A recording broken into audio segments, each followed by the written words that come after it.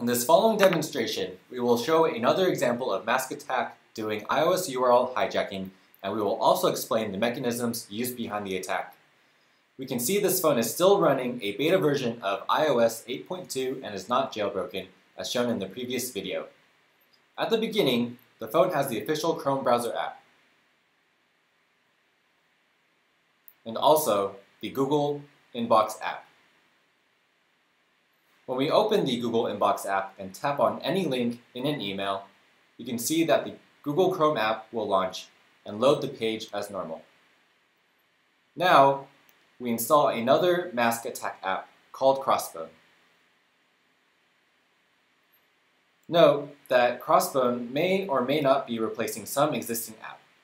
It is just a game and it may potentially come from the official App Store or some third-party website.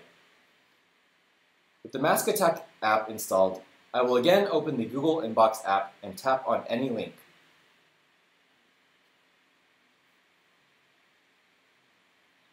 Again, we see the text, you are hijacked at the top to show that the user has been hijacked.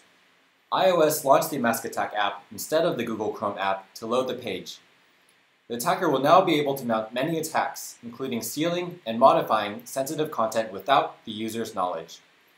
Why this is happening is because when the user clicked on the link in Inbox, Inbox asked iOS to launch the Google Chrome app using a specific URL scheme. However, unknown to the user, the app installed through Masque Attack also registered for that specific URL scheme. Because of this, iOS will launch the Masque Attack app instead of the original Chrome app. Apps from the official App Store or enterprise signed apps are both capable of carrying out this attack. Read more details on the mechanisms behind the attack at the FireEye blog.